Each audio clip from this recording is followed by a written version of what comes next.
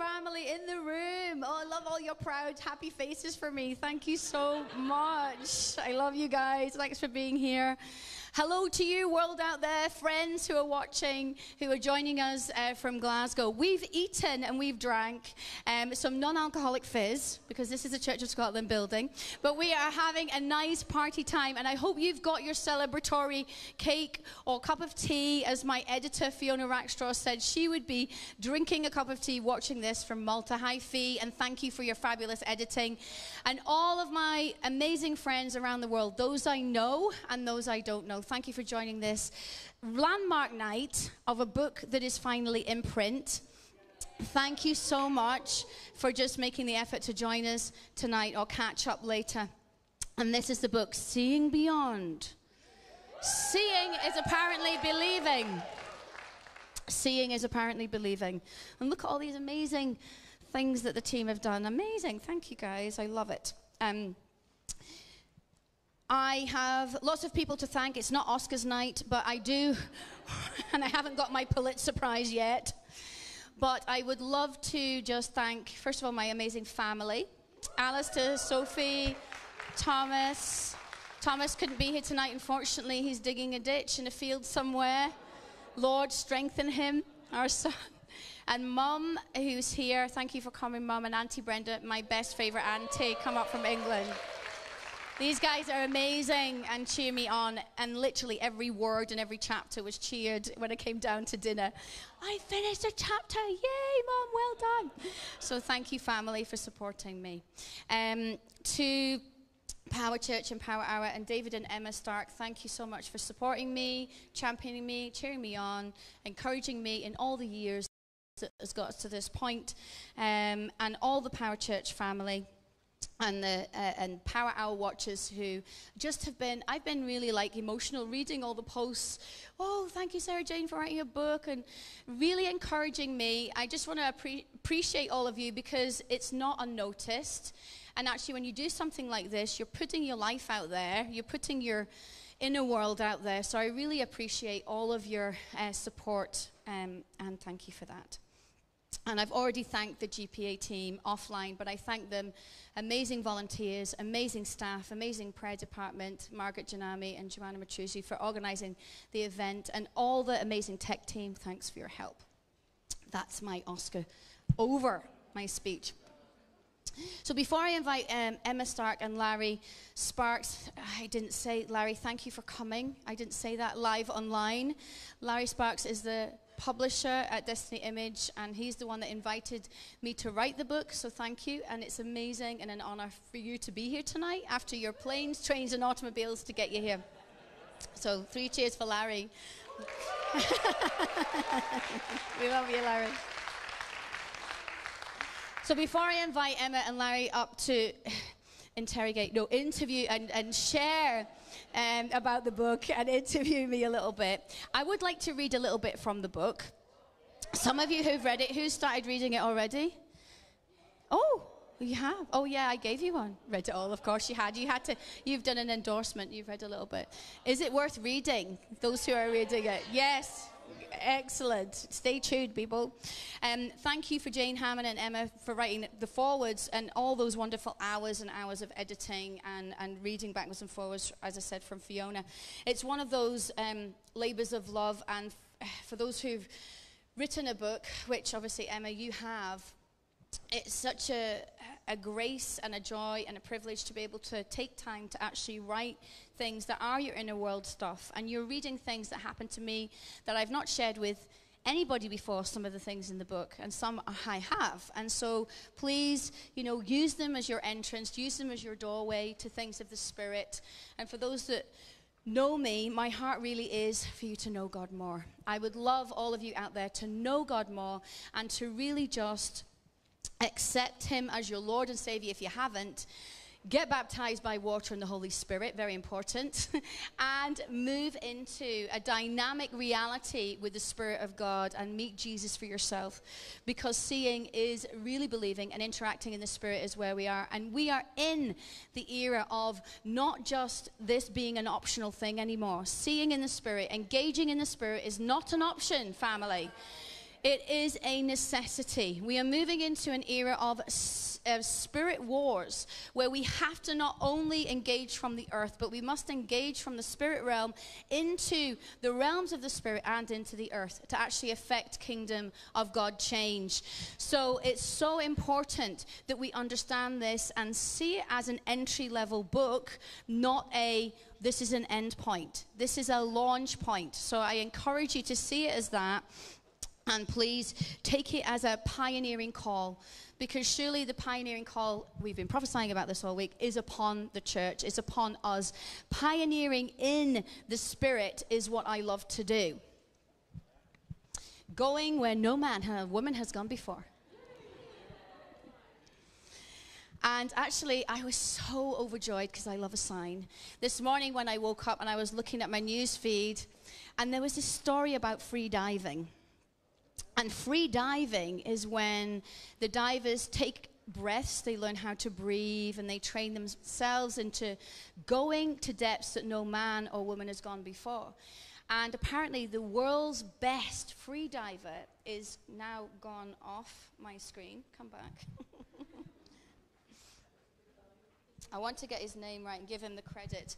Um, Alexei Molchanov is the most um, daring free diver of history, going to like 43 stories of a building deep with his oxygen in his body with no help other than a monofin.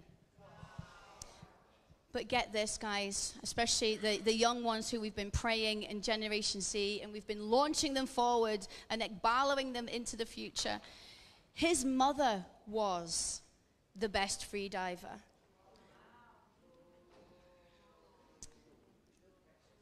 Uh huh. Go beyond, Sophie. This is your legacy. It's all of your legacies. It's all of your legacies to go beyond where the pioneers have gone. And I, you know, I don't say that lightly because I do believe that the Lord wants to take us into a deep journey of free diving in the Spirit that's available to each one of us. And I would say to you, come on behind me and go ahead of me and go ahead of some of these experiences and go beyond in the Spirit. And what I loved about this story of Alex, um, Alexei was that he gets himself into a very still, quiet state.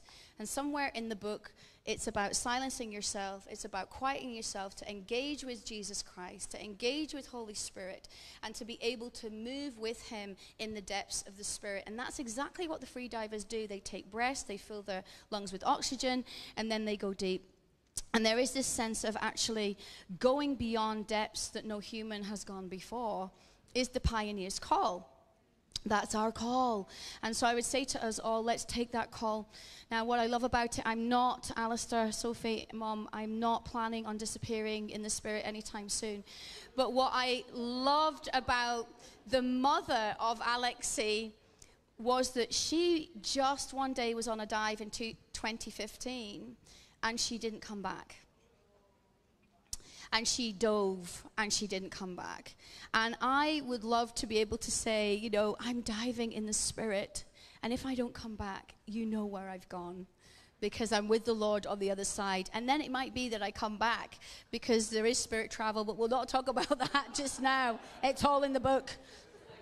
You can read it. So let's say that there is an adventure waiting for each one of us. And it's through the door and the gateway of Jesus Christ. So please go through the door. I'm going to read from chapter 1. Seeing is believing. Jesus Christ had been my Savior for around 10 years, and I was lying on the floor of a church building during worship time, overwhelmed with emotion. As the music continued to play, I was overcome, both with my love for Jesus and the tangible presence of God. I remember I was crying, and not pretty tears, but snotty, wet faced, messy tears. And I was embarrassed at the outburst of my emotion to such a degree that I had covered my face with my arm, and yet I couldn't stop. I'm getting emotional even reading it, for goodness sake. know, when you when you remember your encounters with Jesus, it just takes you right back. My thoughts were on the theme of I know you love me, Jesus, but I want more. I love you, Jesus, but I want to love you more. And it was burning inside me, a provocation to more hunger, more burning adoration. And in a single moment, I saw Jesus. He was right there, and I saw him with my eyes open. He was not in solid form, even though he looked like a man. His form was more like light with hologram or projection kind of effect. And nevertheless, he was present in that moment, and I saw him. His eyes were filled with light and adoration. And I heard his voice and I experienced his presence tangibly, as if he was in the room with me like you are now. It was an otherworldly encounter, but it was not ethereal to the point of being unreachable. This was really happening, and Jesus was really there. He sat in front of me. With his face coming closer to mine, he reached over and kissed me on the cheek. I felt the determined touch. I was still on the floor in more puddles of tears as I experienced the overwhelming adoration and passion of Jesus for me flooding through my body. I can still feel where he kissed me on my face as I write this today. I heard him say, Let me hold you now.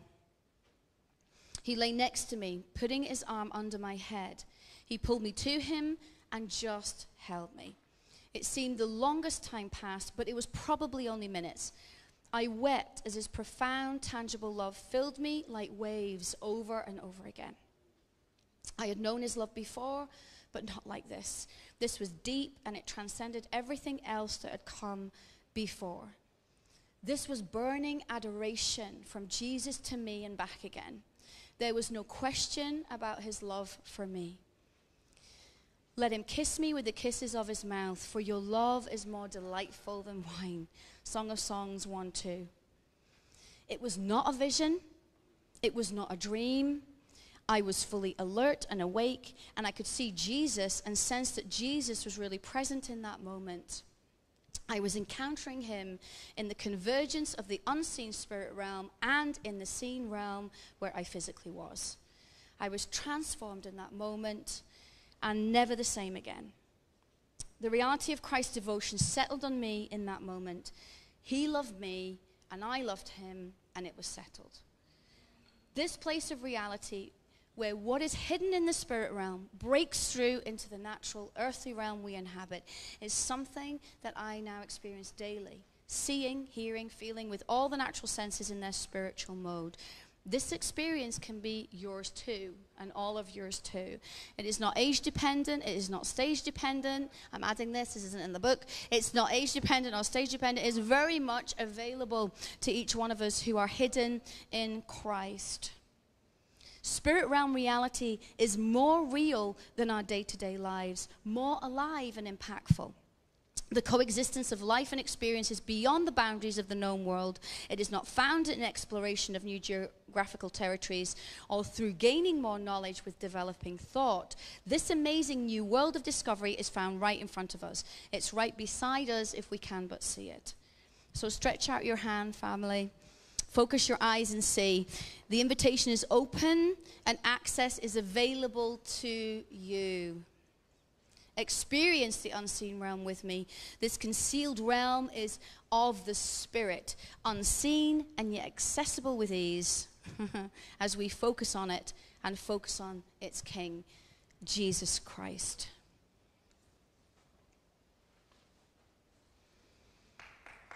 Oh, thank you, darling.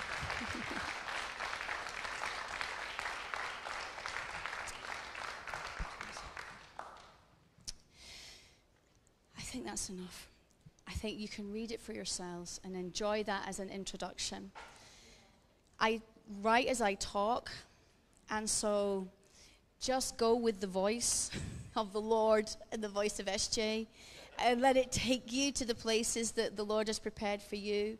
There is room in the Spirit for all of us to engage with Him, Holy Spirit. And if it's new for you, welcome. If it's something that you've experienced before, time and again, there is so much more. There is so much more. So be encouraged. And if you need encouragement, I'm here to encourage you beyond the book. And we will invite Emma and Larry up now to speak however they would like to speak. Welcome, Emma and Larry.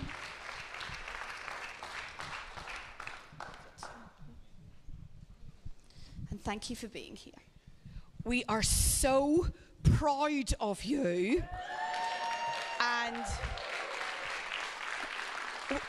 we know what it's like. Uh, we know what it's like as authors. It's like a whole giving birth. Well, w- yeah, you, you, yeah, you don't know what that's like. Your wife Mercedes does, but you know what it's like to birth a book. not a book, not a baby. We are so proud of you. And uh, uh, just a couple of thoughts come to mind. I remember the first time I met you, we had just started, as it was, Glasgow Prophetic Centre. We were four weeks in, and uh, we met each other. It would have been probably April or, or March uh, uh, 20, 2009. And uh, we've kind of been a bit joined at the hip since 2009. And, and Sarah Jane has been one of God's just absolute greatest gifts to me. And what an amazing joy to run together as mums, as friends, as workmates, as travel companions, and all the things that we get to do uh, our lives together. And we, we, we have this poem that we, we quote back and forth to each other uh, When I am old. Now we're, we're decades off it, aren't we? We're decades off it. But we do. When I am old, some of you will know it. Um, it's not a, a, biblical poem, I should just say this. Uh, when I am old, uh, I shall um, spend my pension on a pound of sausages and wear a purple floppy hat and uh, learn to spit and do all the kind of things that I can't do in the sobriety of my youth. But maybe I should start to be, the poem ends, some of you will know it, maybe I should start to be a little bit extreme now so people don't get too shocked when I am old. And so we have quoted this back and forth. I know it was a favorite poem of my mum's as well. And we have said one day when we're old and very grey, we will swing on an old gate somewhere and we will recount the tales when we're eating sausages uh, with our pension and purple floppy hats. And uh, so we hold that. But what I love is the journey that we've had, the journey that we'll go on, where Sarah Jane has always been the wild, extreme one. And, uh, and actually, she makes me look quite tame. And uh, Sarah Jane has always been that one who is hungry for more. And she models that. And so, those of you who are watching, online, and I know there are thousands of you who love what we do and have loved and fallen in love with Sarah Jane as we have as a family. What you will get when you open this book is an, not just the words on the page, but you will get an impartation of her hunger. And I actually think you can't put a price on that, on an impartation of hunger. And she will, Holy Ghost, irritate you into because that's her specialist skill. She, uh, no, in the best way, from in the best way, she will Holy Ghost irritate you uh, out of any comfort zone you are in. And you guys know online, I want you to be high fiving in the comments because you know uh, you need a Holy Ghost irritant in your life, and let that be Sarah Jane Biggart. So, uh, yeah, uh, yes. happy to be irritating. Ha- yes, it is. It is. It is utterly With the brilliant. extreme things of God. And, and one story, I remember we'd maybe known each other maybe eight or nine weeks, and you turned up one day at one of the schools we were running and you started to roar. And I'm holding the microphone thinking, Jesus, this better be in scripture. And uh, you were doing this wild thing around. I'm thinking, oh, Jesus, help. And I remember um, ringing two of the senior prophets in the nation, uh, Stephen and Angela Bowler, and saying, I need to meet you. I've got this volunteer on my team who started roaring. What are we going to do? I need advice. And they laughed at me and they opened the scriptures and they said, This woman is a gift of God. And because what she is doing is an anointed roar like Joshua gave that, that broke the walls of Jericho down. And uh, I have found her to be biblically on it and understanding how to apply what we've read as story in scripture into our reality. And we are, this community is forever indebted to, uh, because actually, yeah, absolutely. Um, absolutely. Um, because David and I get to do what we do because she uh, provokes as, as a gift of God. Larry, thank you for coming from Dallas. Yeah. Hello, hello. Uh, Yeah, yes. it's a joy. Talk to us because Oh. I'm just about to write a, an endorsement of your next book, Pentecostal Fire. But you've published a number. So, what would you like to say about this? Well, the Lord gave me three things while I was sitting there specifically about you, about this book. Number one, and you just ended with the word provoked. I believe God is raising up people right now who are provocational voices, who actually make complacency impossible. And I actually believe there's a grace on this book. And maybe after I share my few things, I actually feel like we're supposed to pray for this book because Destiny Image exists not just to give people information. I always want to be theologically on the up and up, but I can't help but think of the book God Chasers. I don't know if any of you remember that one, Tommy Tenney back in the day, where people would read that and they would have encounters with God. I believe that same grace is on this book where people are going to read that, even as you were sharing your testimony, that story that you read. I don't know how many of you felt it, but that word provocational came to me. It provoked me to be hungry. I believe as people read that, they're going to they're going to stop. You want that? They're going to stop reading and say, "God, I want what I'm reading about." I feel that on that. So number one, it's provocational. Number two, I really I, I believe the essential in all of this is what you said, and you do a wonderful job articulating it. The doorway of Jesus because I love the supernatural, and I believe, and you've been pr- praying and prophesying into this, we must restore the wildness of the Holy Spirit. He is not tame. We need the, that's why I'm writing my book, The Wildness of Pentecost. We need it. However, I think we always will remain safe when the door is emphasized exclusively as Jesus. Because if we try to get into the spirit realm through any other door, that's where it becomes, as you find people would say, dodgy. I don't use that over in Dallas, but I like that word a lot, actually. So, the door of Jesus. And the third thing I want to say, and then I, I, I do, I really want to pray over the book, is uh, this is an essential contribution to the body of work on the seer anointing. Because there's not many books on the seer anointing. I could name them. You had James Goll, who really broke it open with the seer. You had my friend Ana Werner, who's in her 30s, my, my age, who it's very, it's very practical and accessible. And then Jennifer LeClaire, who did the seer dimensions, but you don't have a lot of works on the seer anointing. This is biblically based, this is practical, but it's heavy in the spirit. This is, this is weighty in the spirit. I'm not saying that the other works are not, they're all different.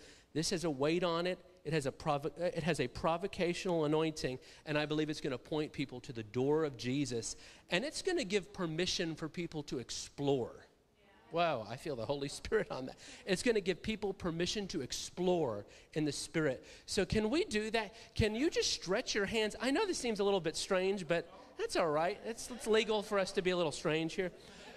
I want to hold this up almost as a kind of a point of contact. Yeah. Father, we thank you. Even right now, in Jesus' name, as people are reading this, I pray literally, what I see in the Spirit is people opening up and reading certain portions and being taken into encounters with God. So, Father, we pray for that. We pray for that impartation on this book. Come on. We pray, Holy Spirit, that as people read these words, their hearts would burn. Their hearts would burn. They'd fall on their faces, they'd fall on their knees and say, God, I know there has to be more. The Bible says it's legal. And I read this lady's testimonies, and if God can do it for Sarah Jane, He can do it for me. Come on. So, Father, we do. I pray in the name of Jesus that as we start seeing Amazon reviews and you get testimonies about this book, I pray and I'm expecting measurable encounters with God where people were saying, Listen, I didn't even know I could see in the Spirit until reading this had an impartation and opened up my spiritual eyes. In Jesus' name, amen. Wow. Amen. I believe it. Wow. I wholeheartedly. so, those of you who are watching right now, don't click away from this, but open another link in your browsers uh, on your device that you're watching. And the team are putting links up now that you can click through to our shop. If you get it from our shop, you have signed it. May your arm be healed from a thousand signatures. But but the one the difference between the Amazon copies uh, and the ones that, that are in our shop are Sarah Jane has signed them. And I know you guys uh, love signed copies. So uh, make sure that you jump straight onto our website, propheticscots.com, and you get yourself the signed copy. Do not miss. There's something about being uh, in the first fruits, isn't there, of grabbing a fresh revelation. And of course, what we're prophesying is the age of the Holy Spirit, the era of the Holy Spirit. And we're coming into that. I have to say, Sarah Jane, um, uh, literally about three or four days ago, uh, as we were zigzagging around America, I came into a new seer dimension. And you know, I, we, we've seen for years, uh, but I think you're in a new seer dimension in the last, uh, what, six months. I'm in a new seer dimension, and we are literally talking to our husbands uh, and our nearest and dearest and saying, You know, because the realms are open. The realms are open. And I don't even know, we'll, you know, usually we keep these things quite quiet because uh, it, it just seemed appropriate. But I think these are the days where we're going to share some extreme things as signposts of what is actually possible. So I'm going to get you to hold this microphone because we just got a, a bunch of flowers as a, as a, Yeah.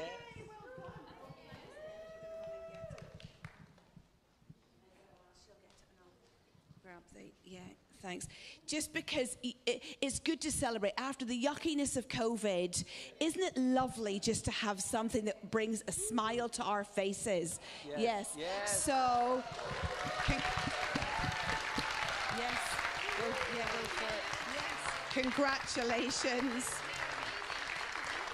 Congratulations sarah jane. Congratulations Oh, yeah, give them to Soph can.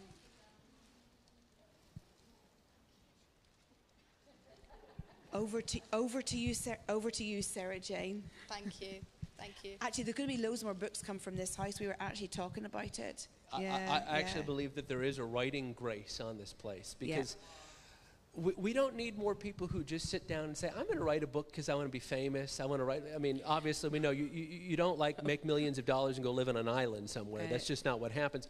But you write books to release impartation. And you only steward what you've carried well. And you guys have carried that prophetic anointing, the seer anointing, very well, very maturely. And I see that only multiplying here. Can, and actually, for those online, uh, uh, listen to this wild story. I was in Dallas with the prophets. This is a story about the value of books. And one of the more established prophets, um, who actually has a house um, in the Seattle area, uh, you know him in, in, in, in Washington state, and she invites the prophets to write in her house. Uh, there's an anointing for writing in her home. And she said this God has told her repetitively that in the coming persecution, which unfortunately we're all prophesying about, uh, that is where there is agreement. Uh, and whenever uh, broadcasting gets taken down, and whenever there's problems with social media and that ease of access of the, the current word of the Lord, uh, she felt that the Lord said this to her. It'd be interesting what Destiny Image think about this uh, as well that books will become the commodity and people will gather around some key books that are being written right now that you will need to have in your armory and they will read them to each other along with scripture because there will not be anything else to access now i had not thought that before but as soon as she started telling me this She's building libraries. Dad, feel free to buy more books. She's uh, uh, she's she's building libraries. Breeze for uh, the coming persecution because she rec and when she said it i had goosebumps all over my body and i said that has got the spirit of god all over it. So it's not just about you know a momentary pleasure or a momentary a momentary open door to a spirit realm. There are some resources that i believe larry at destiny image along with tina pugh and your other staff there are going to publish that some people in this room and others, and this book is one of them, that are going to be resources in persecution that you will read and reread when you cannot get your hands on anything else. Isn't that a joyous prophetic thought? But uh, uh, we really believe that uh, this is one of those books. Yeah. Wow. Well, I'm blown away, and thank you so much for your endorsements and for those who have endorsed the book. And I think, you know, as I wrote this book, it, the prayer was, in fact, when I was baptized all those years ago in Tars Parish Church, my dear friends from my original prayer trip right here, we love you. Yes, we do. And um, Nigel Barge said to me, Your scripture is, Blessed are those who hunger and thirst for righteousness, for they will be filled. That has been a mark on the inside of me. I am hungry for more of God. I am hungry to know Him more. I am desperate to have the full measure. Are you not? We should all be. That's what it's all about now. My manifestation of Holy Spirit in me is not going to be yours. Thank you, Jesus. Everybody's saying that my manifestation is not going to be like Sarah Jane's, it's going to be like yours whatever it is, it's going to come out in ways from your body and your mouth and your passion that is you. You know, it's you. It's not me, it's you. But let it be that Holy Spirit, I am hungry. Jesus, I am desperate. Why don't you stand with me and we'll just pray? Yeah. Lord, what you did with me Lord, I pray you do with everybody watching. I pray you do it with everybody who reads this book, whether it be audio or Kindle or in the flesh. Lord, and even as I prayed as I wrote it, I pray that there would be doors opening and never satisfied, never be satisfied, always be hungry, always be provoked into a deeper encounter and be a free diver in the Spirit of God, going where He has made a way for you. So I loose that, uh, if you will, that hunger and I feel like I've, I don't think I've ever prayed that before. I lose um, an impartation of hunger to know God more, I, right in your belly, to be hungry for God, to let Him get you. And our response is, Get me, God, make me hungry.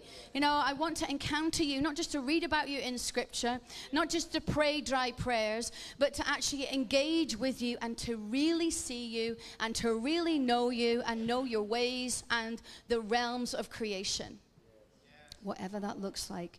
That's the dangerous bit. If you add that bit on the end, who knows what's going to happen? Whatever it looks like, God, I am willing.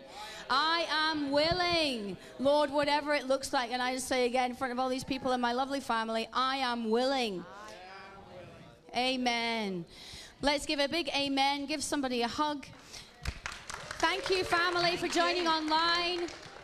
We will see you soon. Thank you for joining.